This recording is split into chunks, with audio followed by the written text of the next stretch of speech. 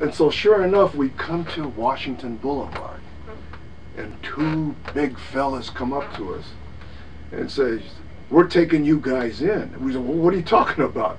He says, you guys are wise guys. And they, they start to grab us. And we said, well, show us your badges. We don't have to show you our badges. And they start grabbing us. And then pretty soon uh, we're there struggling. And he had me, one guy had me like this, and my, my toes are barely on the ground. He had me up like this. And then all of a sudden I felt the swirl of activity. I says, uh-oh, there's five of us, five 15-year-olds, and there's two big policemen. And so we took our chances. We didn't know they were policemen. These are wise guys. So we start wailing on them. They're like that. And oh gosh, we're, we're having a good time, you know. We're going to we're, we're going to get away, we thought. And as we were wailing, then pretty soon somebody yells out to me, Pete Young, look out! You know, Pete Young's my Korean name. Anytime we're in trouble, they, we use Korean names. he says, they're cops.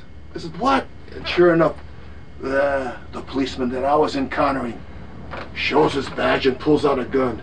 I go, oh, God. that was the ugliest badge I ever seen in my life.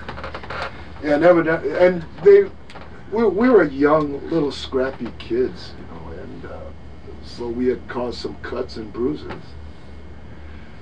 And uh, they they handcuffed uh, four of us with two handcuffs, and the other one they they left loose and they threw us in the back of the squad car.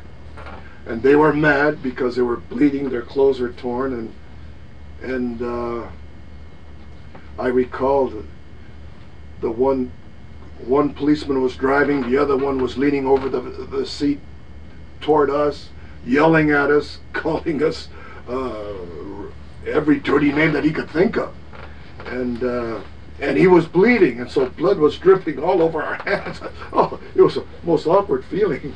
And uh, of course, this was in 1941, the Halloween of 1941, and the anti-Japanese feeling was building up. Mm. And so he says, "You dirty Japs, you, we're going to get you for this." And so I said, "Oh, they think that we're Japs. Well, yeah, well, we're not Japs." So we say, "We're Koreans." And so we thought that, that would get us out. And he, and he looks at it and says, that's worse. You guys are worse than dogs. and he starts taking a swing at us. We, we go back and then finally they bring us at that time to the University Police Station that was right here on Jefferson Boulevard in Hoover.